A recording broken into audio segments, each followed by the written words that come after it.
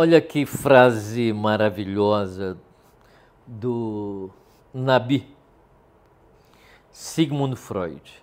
Ele diz: as emoções não expressas nunca morrem. Elas são enterradas vivas e saem de formas piores mais tarde. Moral da história: tudo aquilo que nós sufocamos, que enterramos vivos dentro de nós, essas emoções, elas apodrecem dentro de nós. Elas ganham nova for novas formas dentro de nós, a tal ponto que o próprio indivíduo não é mais capaz de identificar a raiz, a origem da dor que está sentindo naquele momento.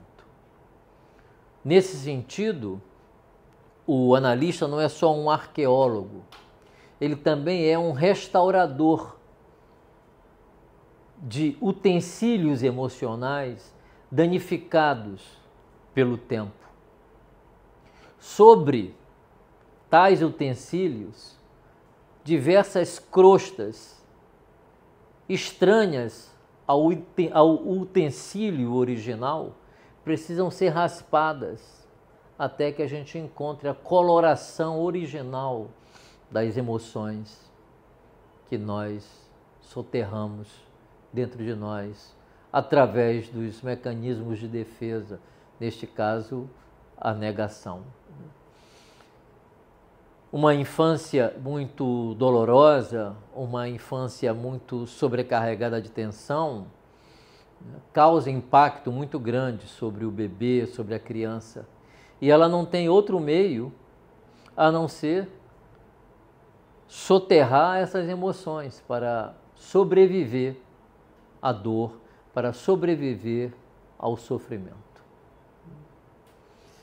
Eu poderia dar muitos exemplos aqui e vou fazer isso no nosso próximo vídeo. Mas lembre disso, que a sua angústia ou a nossa angústia, a depressão, a ansiedade, o pânico, a labilidade emocional, né, a raiva, a vingança, são todos sintomas destrutivos, mas que lançam uma luz, são indicadores de que ali, no acontecimento psíquico interno ou no acontecimento externo com reverberação psíquica, produzindo emoções devastadoras esses sintomas, eles apontam para um naufrágio emocional ocorrido na história do indivíduo. E não existe outra forma de nós buscarmos os objetos escondidos a não ser voluntariamente mergulhando, prendendo a respiração, uma apneia, e mergulhando para buscar o que foi perdido, ou obrigatoriamente tendo que fazer isso através de um, de, de um assim chamado transtorno psiquiátrico, que não é outra coisa a não ser a luz no fim do túnel.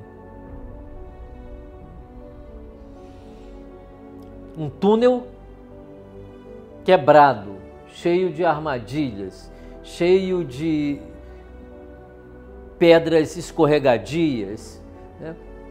pronto para desabar, ou pelo menos dá a impressão de que vai desabar. Né?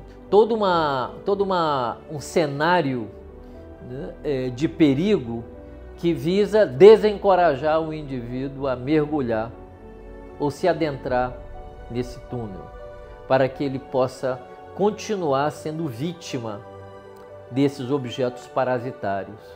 Eles são indicadores de que há alguma coisa lá dentro que é luz e que precisa ser resgatado. Mas eles têm essa duplicidade, essa ambivalência de função, de funções, que é também criar dificuldades, dores ainda maiores